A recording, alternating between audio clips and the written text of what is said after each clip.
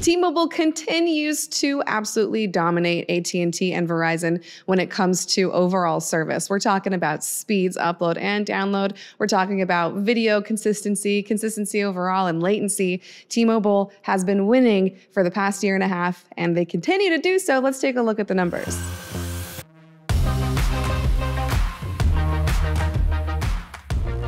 Every three months, Ookla measures millions of devices and the speeds they are bringing in. And every few months, we get to see where the carriers fall in terms of how fast or slow or better they are over time. And T-Mobile is just it's embarrassing how good they're doing for the other two big guys, Verizon and AT&T. Here are the numbers. T-Mobile more than doubles Verizon's average download speeds coming in at over 160 Mbps, where Verizon falls in around 75 Mbps for average speeds. And AT&T comes in even lower than Verizon, but just barely.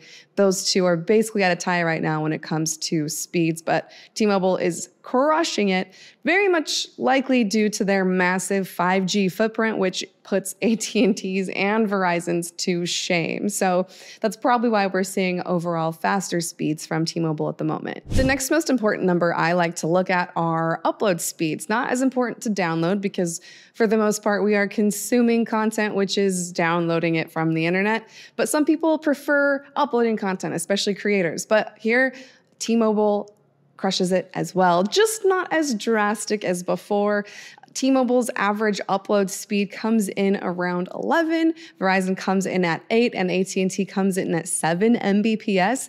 All of these numbers are pretty slow and you wouldn't be able to tell a difference from 7 to 11 really for the most part that's negligible but it's still important to note that T-Mobile is absolutely winning here as well. Curious though that although their 5G footprint for T-Mobile is growing and the download speeds are absolutely crushing upload speeds seem to be another story across the board, and I think should really be taken a closer look at as these carriers start to grow their network and improve their networks. It's not just about download.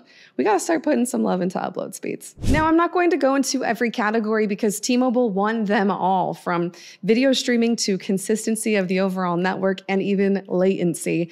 T-Mobile came in first, then Verizon, then AT&T. It's unfortunate that AT&T has done poorly for the last year and a half with these tests because as I have said all the time in these videos, I have had AT&T my whole life. I'm a fangirl, but they're just not performing well and it's in the numbers. Now, to go on the other side of the coin, some of these numbers are so close that it doesn't really matter. For instance, T-Mobile's latency is just barely better than Verizon's, which is just barely better than AT&T, but if you're a gamer, that might make a big difference. With all that said, it's pretty clear that T-Mobile is far ahead of the others, and it's going to take a lot for AT&T and Verizon to dethrone the pink wonder. Let me know what you think in the comments. Is T-Mobile really all that it's cracked out to be, cracked up to be?